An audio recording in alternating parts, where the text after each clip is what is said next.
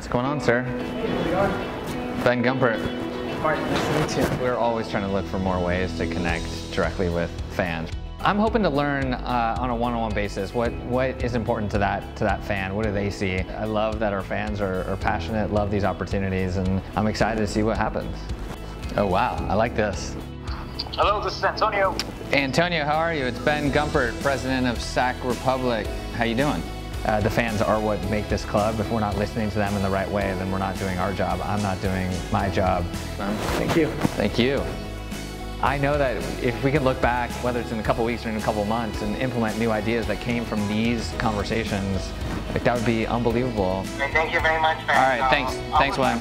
I'm excited for what this club and our fans can all do together.